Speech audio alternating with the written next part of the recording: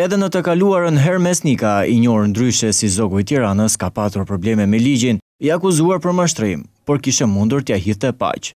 Zogu do të përballet të martën në Gjykatën e Tiranës bashkë me tre persona të tjerë, me akuza të rënda, shfrytëzim prostitucioni dhe mbajtja e lokaleve për prostitucion. Por, Hermes Nikaj ka mohuar akuzat e grupit hetimor për prostitucion. Gjatë seancës së marrjes në pyetje, Zogu ka pohuar se vajzat kryenin marrëdhënie me dëshirën e tyre dhe nuk kishin si qëllim përfitimin financiar ndaj të njohurve të tyre.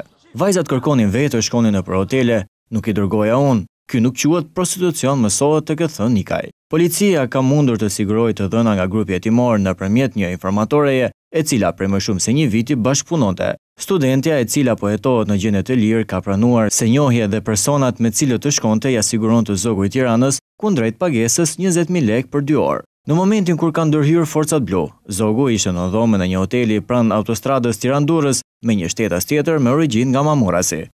Ndërkohë janë administruar nga Prokuroria e Tiranës përgjime telefonike, mesazhe dhe vëzhgime në terren, ku kryesor ishte Hermes Nikaj dhe vajza që kishte një qendër estetike, Albena. Kjo e fundit u arrestua më datë nëntë nëntor, por nuk u bë publike për shkak që të mos dekonspiroheshin hetimet. Dyzet e tre vjeçarja fillimisht punësonte vajza si kursante ose si parukiere te qendra e saj estetike dhe më pas i rekrutonte ato për prostitucion duke i dërguar në banesat ose hotelet sipas kërkesave të klientëve kundrejt përfitimit monetar që varionte nga pesëqind deri në shtatëqind euro nata. Gjithashtu në këto pagesa të larta ishin edhe vajzat eskort që shoqëronin vipat në koncertet e tyre kryesisht në Kosovë dhe Greqi.